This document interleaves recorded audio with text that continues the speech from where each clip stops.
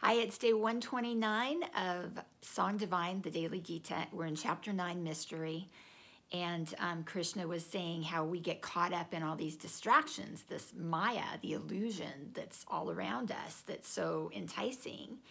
And he continues and he says, Yet I am right here, and they do not see the Lord and their soul in its majesty.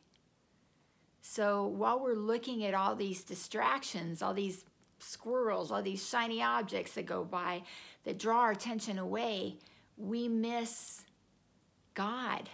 We miss what is right in front of us, in us, and all around us. Why are we doing this? Why are we doing this? We need to wake up, you know, get unhypnotized, get unmesmerized, and see the truth. And that's what Krishna is telling us the secret, the secret to happiness, the secret to, you know, this beautiful life that we so crave that we think is going to be bought for some reason. That's not it.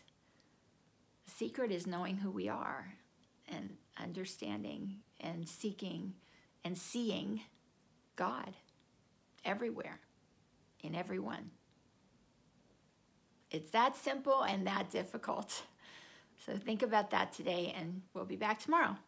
Thanks.